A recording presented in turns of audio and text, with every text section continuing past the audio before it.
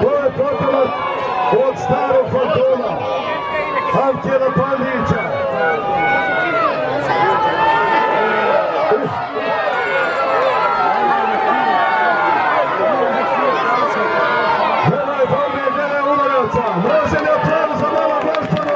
Vidimo se sutra.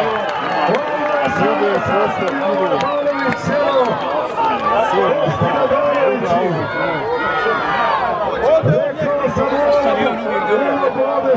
Ova još dvije.